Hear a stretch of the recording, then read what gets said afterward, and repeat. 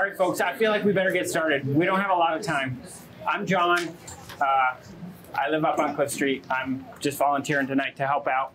And our task this evening, just to try to clarify that a little bit with these breakout sessions, is uh, we are going to develop sort of two lists. One is a list of actions that we think should be taken in this area of work, and then resources that are needed to move to move those actions forward. And just to remind folks, so everybody is uh, hopefully in the right room. Uh, my understanding is that we are talking about uh, investing in an adaptive downtown.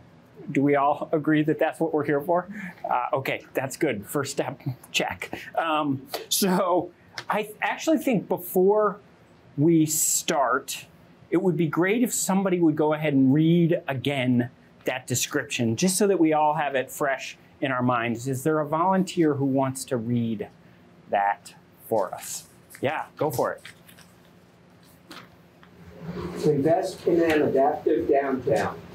With more floods likely in the downtown floodplain, Montpelier should do everything possible to protect public and private property, homes, stores, and downtown buildings. Currently, steps toward building hardening, elevating buildings, appliances, and inventories, mitigating impacts and adapting in the downtown, options for moving some businesses and inventory space are being led by individual homeowners, merchants, and building owners who often lack access to public funding resources and or the capacity to navigate the existing financing options. The task force could gather and share best practices, raise money to help businesses afford transitions, and work to leverage resources like those of Efficiency Vermont to replace appliances and home and business utilities. All right. So um, we're going to spend, uh, we've got 30 minutes total. We're going to spend about 15 to 20 minutes thinking through some potential actions. And uh, I think this may be too hard, but maybe trying to decide on a couple that really rise to the top as key things to focus on. And then for the last 10 minutes, we'll think about resources. You know, what, what this is not as a group, just to be clear, is as was talked about before, there is now this commission that's going to convene to really work and support a lot of this. I think what we heard is the goal is to hire somebody to sort of lead those efforts. And so this group, I think you all may well be involved in that effort. You may well want to be involved in the effort to sort of do this task of investing in an adaptive downtown. But like this probably isn't the task force, right, tonight that's going to set another meeting date right? But the but what this will be is input that uh, that the commission then uses, and there may well be further con- convenings of, of of people to do to do this work. So, are there any sort of questions before we just sort of launch into what are some potential action steps in this area? And it's Matt, right? Yes. Matt, your role, you work for the city in what role? Uh, I'm the communications development coordinator for community services. Awesome. Matt is our scribe tonight, so uh, that's great. These notes will get transmitted.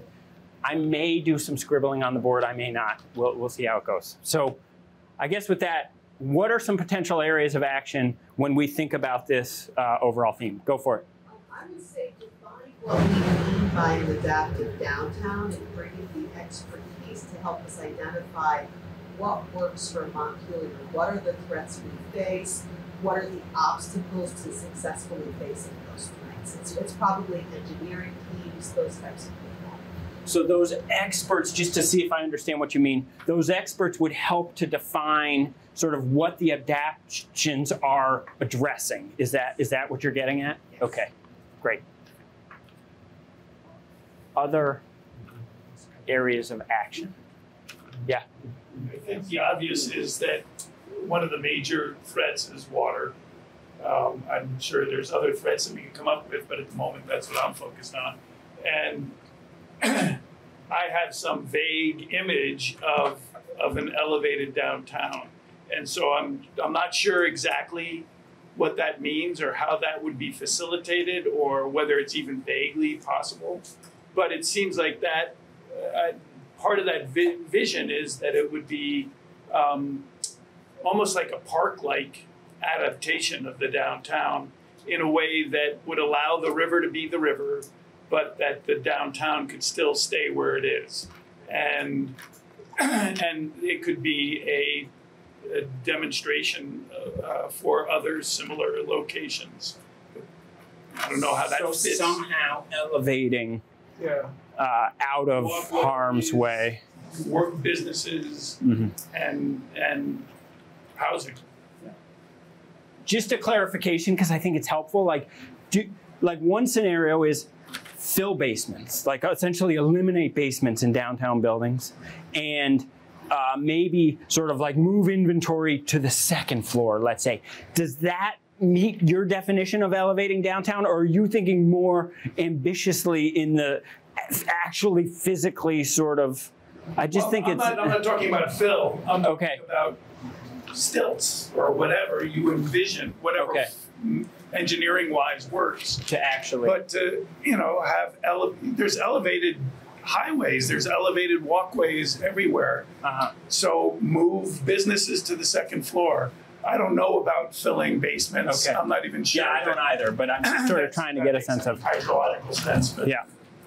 Yeah. So, uh, there's a few uh, in mind. One is, uh, everywhere we've got parking lots, you know, some of them are necessary. We need, we need a place to put vehicles. Um, but there's a lot of opportunity, I think, to reconsider those spaces as green stormwater infrastructure and provide areas for the river to flow into, um, when it overrides its banks, um, and capture and even consider some of our, you know, the civic path, uh, as, as part of that.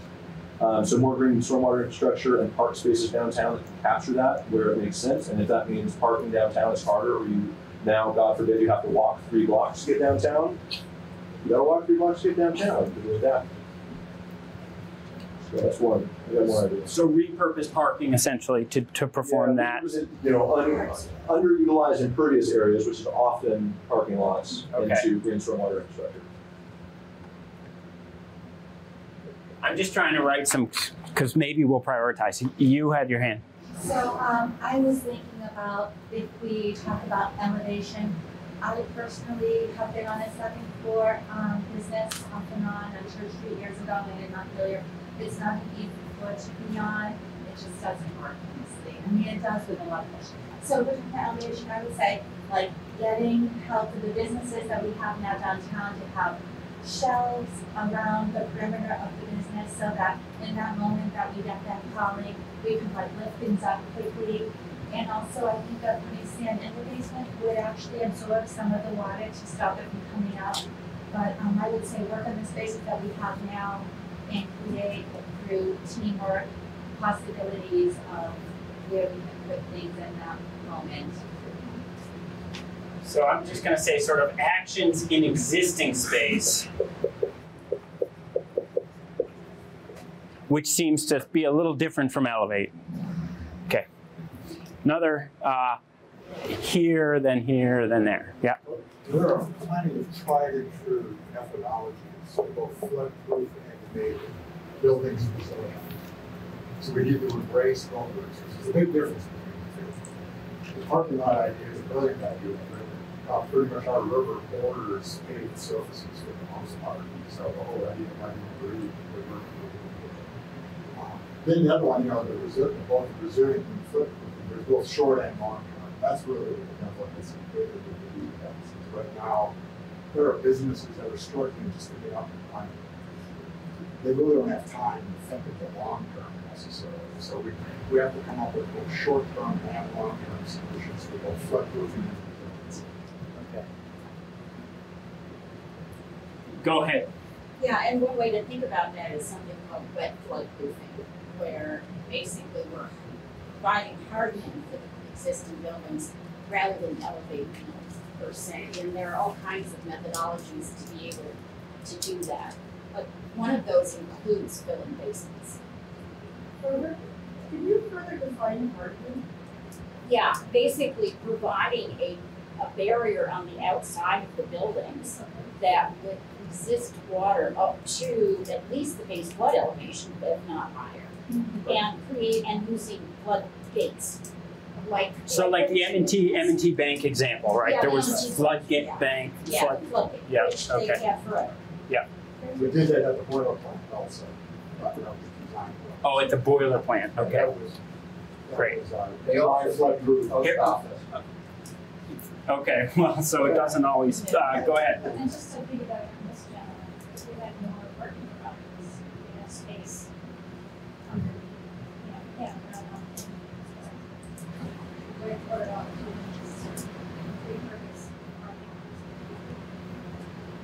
So are you suggesting specifically a parking garage is an alternative to so much impervious space because you're going up as opposed to, okay? Uh, I'm gonna get some new voices in before we go back, so, yeah. Building on the long-term theme that someone else mentioned, like, I would love to see us do everything we can to address mitigation with, within this. And so, for example, if, if businesses and downtown structures lost their heating systems, can we do everything possible to make sure they transition off a fossil fuel when they rebuild, you know? So just thinking about that, embedding that in the resilience and recovery process. So when you say mitigation, what you mean is sort of addressing the root cause. Climate mitigation. Climate mitigation is what you really mean. Okay. I'm just gonna sort of write that as the, okay, thank you. Uh, you and then you? Well, one, I'm, I'm not a business owner, and, uh, so I'm talking from what I see. But it seems to me the big, among the big losses was just inventory, because inventory was being stored in basements. Can this, can the city and, and real estate agents and re- and real estate owners can come to some kind of alternative to storage system for inventory that is accessible accessible, have, have to have ele- elevators, but also not using the low grade. Um, and, uh, would be some kind of, it would have to be a separate building. And that's, that's a problem for merchants, I know, well, I have that in my inventory. Are you willing to come back tomorrow, or I can bring it? How much, how much can be stored, how much has to be, um, put, put out for, Accessible, right? right. And how would you manage the, the kind of uh, storage, basically a warehouse? hmm As a shared, are you thinking of it as a shared, a Shared. shared resource? Okay, great. Um, I have two things. One building off of what you said about um, the kind of the shelf concept. Um, something that was mentioned in the weeks after the flood was um, creating something like shelves that, you know, you have you have. Think about the, the hurricanes, the buildings in the south where you cover windows with do- with boards and you lock them down. Something like that for shelving, but that moves. Um, so you can literally just close up shelves and drag them, put them on, you know, so they're on um, wheels, and you can drag them out and into higher ground. That was one a 13-year-old's idea, um, and I just want to bring back something that I mentioned on the um, on the floor was reimagining our schools. We really need to think differently about. Um, we have very a very very small schools in Montpelier, and we have a lot more population that we can um, uh, join together with um, to think differently about our buildings. Uh, Nathan, yeah, and then, yeah. Nathan, yeah. um, thinking for me about the idea of a parking garage which is stacking, the more density the better. And I think if we can find a way to uh, concentrate housing outside of the flood level and then recognize that the real um, retail spaces in a walkable downtown is a premium, and if we can accomplish the sort of flood hardening, uh, offsite storage, we can keep people safe, right? If, if this happened in March, and people were without heat and then in makeshift housing, we would be really in trouble. So keep people safe, businesses, I think we can sort of react, help move stuff, put it back. So I, I would like to see us really, really focus on density, uh, allow, you know, allow taller buildings, allow housing without parking in, in more zones, et cetera. I just want to see us, you know, we can draw a line, right? We know we know what the projected flood is. That number might not be real anymore. We can add three feet to it and just say, let's any new housing where we could try to buy out, um, in Northfield, bought out low-level housing so that that just wasn't a threat anymore. And that could become retail space, or it could become business space that's where people who lose housing for floods and people like that. So just to be sure I understood, like, do not develop new housing within the floodplain, but have that housing that's outside of the floodplain be higher density. Is that, am I getting that right? Still still close to the core, but I think Close to the core, To but, me, okay. a lot of what defines this community is how walkable it is and how compressed the retail and, you know, eating and the the experience part of it. And so let's let these, that core be that and adopt some of what Greg and Barbara are saying about acknowledge that we're gonna flood again, over and over. Let's build for it and let's, you know, make it a quick recovery. uh, you, uh, and then you, sorry. Yeah. So I, I completely agree it's gonna flood again, and we should build for that, but I just wanna urge us that we're talking about building an adaptive downtown, and we may not just flood. We may have an abundance of snow. We're not that far from the Canadian forest fires and we're surrounded by forests. We could have a forest fire, so I encourage us to broaden our thought as to what we mean by adaptive. Yeah. Yeah. So I appreciated like the idea, I don't know exactly how we could demographing the buildings and doing that sort of um, preventive work. Um, I will say at Splash, the water up right through the basement before it even like started to go through our door because we had sandbags like piled, but the water was already coming through. So I mean, again, like those basements really just need to be off limits and filled up with sand. And if we could get some funding to do that, so that all of the buildings in town are filled with sand that will absorb a lot of the water that won't be coming into our businesses. And I will say, um, we were really fortunate because we, um, just heard from people how bad it was getting, and so when Splash, four hours before it really hit, we just got friends in with ladders and drills and put shelves like around the top of Splash, and we just started, we had like thirty people, handing boxes, handing boxes. And how they had those shelves in place, and they would look beautiful because we would do like ironwood or something. That would be a really great way for businesses to act quickly to get things up and not in those moments. And to get what you're saying too, but right now I'm thinking water, like Great. And just to like reiterate, like to come back to it, what you're talking about is actions that you can take in the existing space to sort of really to do what uh, Barbara described as sort of like wet floodproofing, hardening. I mean, some of that's exterior stuff, some of it's interior stuff. Uh, go ahead. So uh, a couple piggyback thoughts. Um, one is that the ideas that Kelly's mentioning and that other people are mentioning require some kind of collaboration to make it possible for all businesses. So it's not just the actions, it's the investment, right? So how do you create the kind of um, you know collaborative funding structure or that you know external investment that enables businesses to adapt?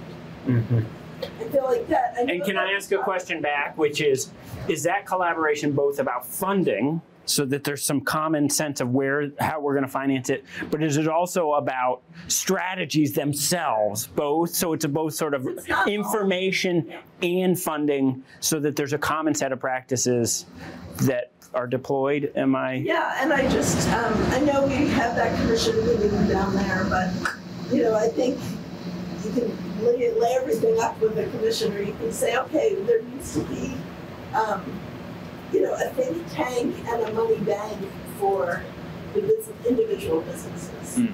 to make, um, those decisions about the actions. Yep. Not just, um, not just have it be, you know, each, each one to their own devices, because that's not equitable. Um, but the other idea of investment that I just wanna, because we, I think we're called investing in an adaptive. Invest in adaptive, and Um, adaptive, I wanna think about not just the concrete needs of the downtown businesses, but also our youth. Investing in our youth as the future of our town and our future of our economy. So that means both creating resources aimed at youth that are flood resilient and disaster resilient Um, currently, we have no youth center at all. Um, and also thinking about our schools in an efficient and uh, emergent and regenerative way. So I also would support a collaboration approach to our youth, both youth and education. Okay. Got it. Uh, behind you, Dayton, first, because that it's a new voice. Yeah, and then you go for it. So I'm not quite sure how to frame this. I haven't thought this through. But I would like to hear from business owners, potential business owners, what they would need to make them feel confident in doing business. And I don't, like I say, I, I, I'm not quite sure how to frame it, but my fear is that people won't really have businesses in downtown. Okay.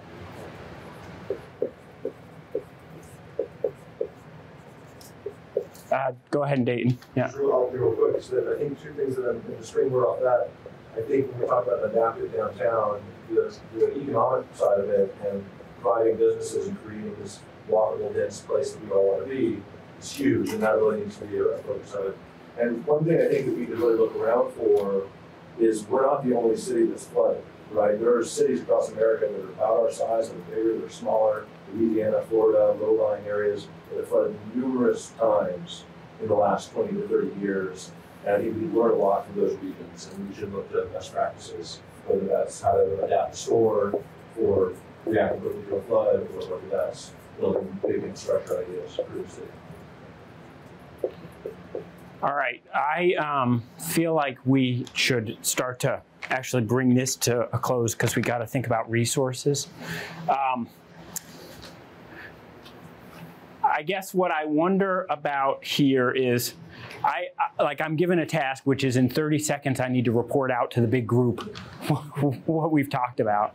And what I feel like I hear as a recurring theme kind of fits under this sort of defining a set of actions to do this wet flood proofing and hardening of those existing spaces in in that downtown core as an emphasis of of this. And and I would say to dovetail on what you said really trying to define not just individual business by business or building by building but collectively what do those strategies look like and how do they get financed is that um, I'm seeing a few nodding heads as like that.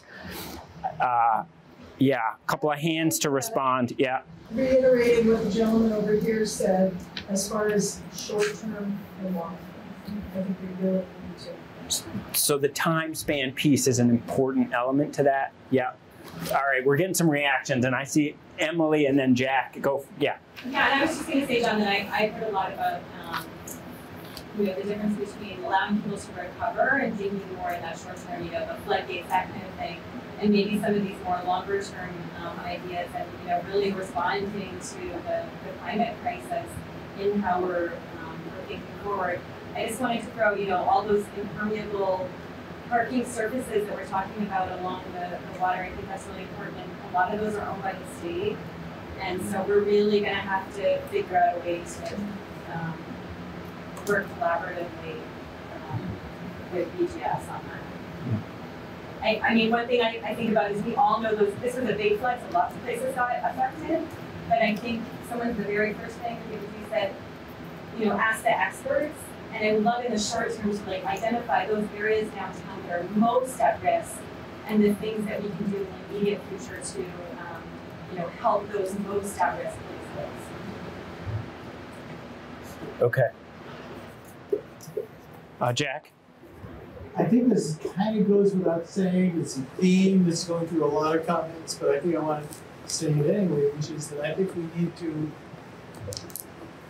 be clear that we are committed to preserving and defending and rebuilding our walkable downtown where it is. It's our downtown, and that's the center of our community, and that's where it should be. That's where it needs to be. is that a point of common rallying? Yes. Okay, that's, I think, actually a, a a worthwhile thing to note. Uh, Yeah, I just wanted to make a point that I, I communicated to Evelyn Tribb after the last meeting, which was I heard two different speakers use the same phrase, short term. One said short term, weeks, months. The other said short term, years. yes. And I, I asked her, I said, for meeting number three, could Paul at the beginning please clarify what is meant by short term? And that didn't happen. So Yeah. I'm making that request again. Okay. Yeah, maybe we could ask you, like, when you think, you define that for us a little bit. When you think short term, are you thinking a few years or are you thinking sort of in the space of a year? In the space of a year. In the space of a year. So, Landlords get their tenants heat by this so it's sort of the immediate. Two weeks. So we get your store up and running, get the cash flow going right away. Yeah. We know a lot of those short-term solutions run contrary to a long-term solution. So you have to understand, there are some. Where there's some conflict. Yeah. So Yeah. That's why we need to think, I think, bigger than just hardening our buildings. We also have to think about how we remake our downtown, which is a more long-term thing, which will make it easier to harden our buildings in the future. Okay. Yep. Yeah. I'm doing, we, uh, quickly Gretchen and then quickly Barbara. Yeah. I want to say climate mitigation again, that's the long-term point. Can Right. build back? Yeah. Yep. Noted. Barbara. Yeah. And as we build back, I mean, we're, we're dedicated to being a net zero community, right? So it's, yeah, um, but the optimal heating systems may not be what we put in right now. So we've got short term, we've got long. Mm -hmm. Great. And finally, and then we're going to resources. Okay, I'll be quick. I just wanted to say that because we mostly the downtown business owners, because we're very close, we're on the grid together, we are so committed to being where we are downtown. We love our downtown so much, so we're not going away. People are confident to be there. Yeah. Yeah, resources, quickly, with four minutes to go. Yeah. I've been thinking a lot about, it's not like we can just make decisions about everybody downtown. You have individual business owners who don't own their spaces. You have private property owners who have to make infrastructure decisions about how to build back, and you have a city. I would love to see a public fund, this is for housing as well, but a public fund that says, okay, Tim Heaney, you're about to redo a bunch of heating plants. We'll give you, we'll underwrite a lot of a really green heating choice uh, with some, you know, some fair deal about getting some of that money back in the future. And, you know, if you can collaborate with your, with your business tenant, I mean, I just feel like if I'm a property owner and I'm not flush, making those decisions in a way that's long-term healthy, it can be more expensive, and I would love to have those resources, something that we provide collectively. So some sort of community bank with some defined goals and the resources to put behind those goals, and, and it's collaborative. It needs to be collaborative with the property owners, and it needs to be collaborative with the business owners. And knowing that not all property owners will remain the same, not all business owners will remain the same. Okay. That's helpful. Uh, Yep, go. I'm gonna echo what you just said, we need resources, we need money. Um, often it takes more resources to retrofit the historic buildings that we are into than to build new, and we need to recognize that. Okay, great. Can I just say another one that I've heard you all are also talk about is sort of expertise and best practices.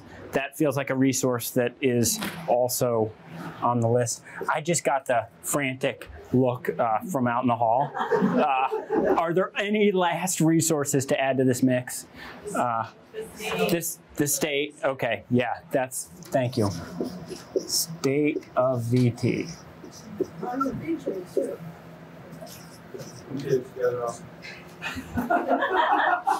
All right, I think Watershed management. Nobody's mentioned. watershed management. Three rivers coming together and some maintenance to figure out how to let them flow through.